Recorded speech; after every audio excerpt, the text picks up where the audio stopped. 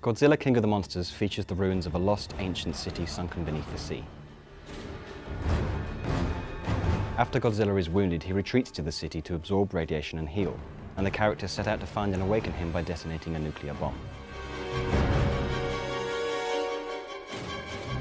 The sequence functions as a travelogue as the submarine heads from a dark, rocky underwater landscape through the outer layers of the city and toward the much larger and more grand central areas surrounding Godzilla's volcanic temple.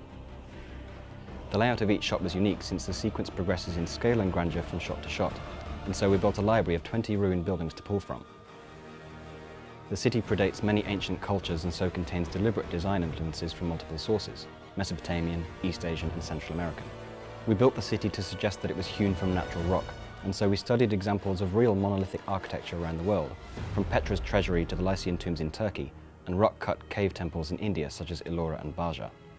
With the buildings in place, we decorated them with monster-headed statues and murals to tell the story of the city's history. And then all of the city assets went through a process of aging and degradation in ZBrush, texturing, and finally by scattering debris, coral and animated caches of seaweed and seagrasses to add subtle motion and light play.